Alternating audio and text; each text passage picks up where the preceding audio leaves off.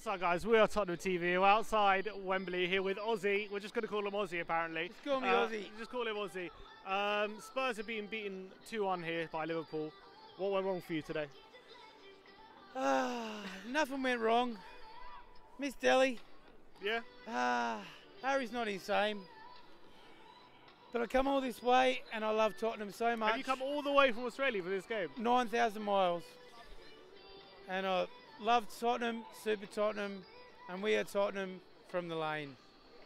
What What do you think? There was a lot of individual mistakes today from a lot of the players. Do you think uh, maybe fatigue played a part for you? Fatigue's a big part. Fatigue's a big part.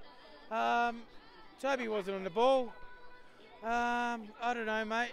I'm just gutted. I come all this way, but it doesn't matter. I'm going to love Tottenham forever, and it's worth every cent that I spend. Is it your um, first Tottenham game?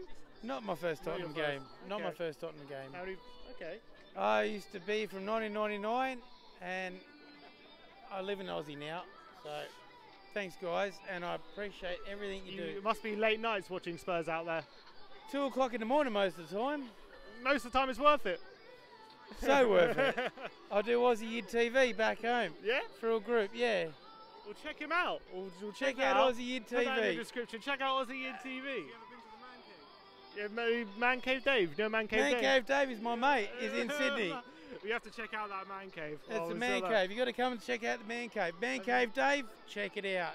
All right, thanks for the invite. I'm sure, sure we'll take you up on that. A Brilliant. nice one, Ozzy. Thank you so Cheers much. for coming on, mate. Thank you. so much.